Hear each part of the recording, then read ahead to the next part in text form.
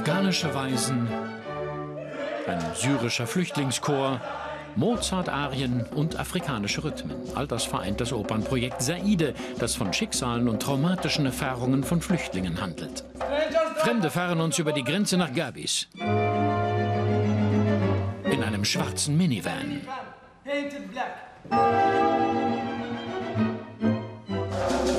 Die Hauptfigur Saide wird getanzt von Esther Jacobs Völk.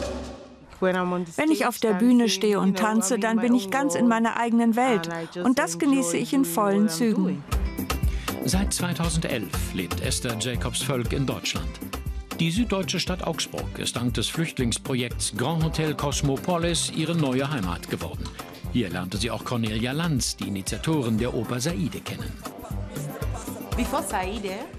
Bevor ich zu Saide kam, habe ich hier an der Bar ausgeholfen. Das Haus hier ist ein Ort, an dem einerseits Flüchtlinge unterkommen und andererseits auch normale Hotelgäste übernachten. Es ist eine Begegnungsstätte. Noch heute kommt Esther Jacobs Völk oft hierher. Der hauseigene Beauty-Salon ist Treffpunkt für die unterschiedlichsten Nationen.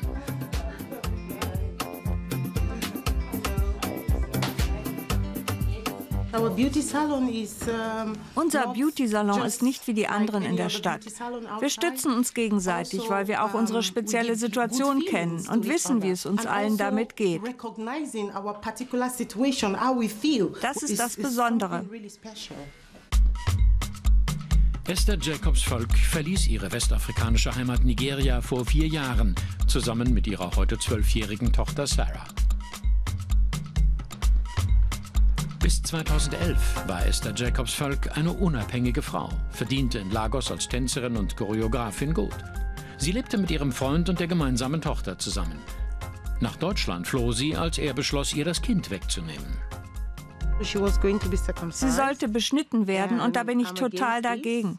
Das sollte keinem Menschen auf der Welt widerfahren. Ich möchte nie erleben müssen, dass ihr so etwas angetan wird.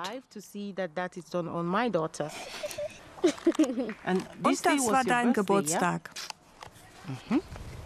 Oma und ich. Oma und du. Und du siehst so glücklich aus. Vermisst du Oma? Yes, me too. Ich auch. Ich auch. Me too. Die afrikanischen Traditionen fehlen der 31-jährigen Mutter. Die afrikanische Gemeinschaft in Augsburg ist nur ein kleiner Trost. Guten Abend. Guten Abend, was möchten Sie kaufen? Haben Sie Kochbananen? Ja, ich habe grüne und gelbe.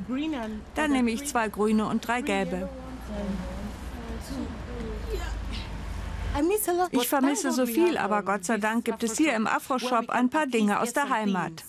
Jedes Jahr wurde der Drache herstudiert. Mit der Flüchtlingsoper Saide hat Esther Jacobs Völk in diesem Jahr begonnen, sich auch beruflich wieder ein neues Leben aufzubauen. Wir werden den Drachen töten! Gerade tourte das Projekt durch Deutschland.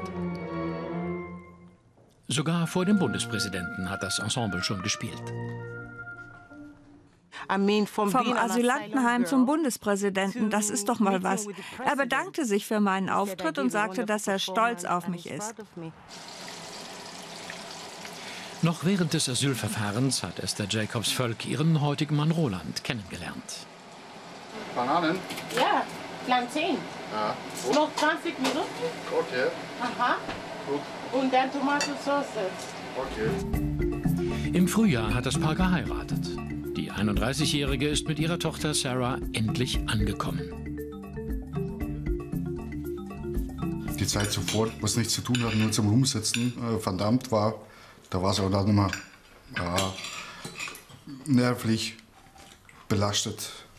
Und jetzt, wo sie merkt, dass es wieder in eine Richtung vorwärts geht, jetzt kommt sie auch so langsam richtig aber Und man merkt, dass sie den ganzen Power, den sie hat. Sie hat ziemlich viele Energien, kreativ und kennt Leute überall, ganz Deutschland.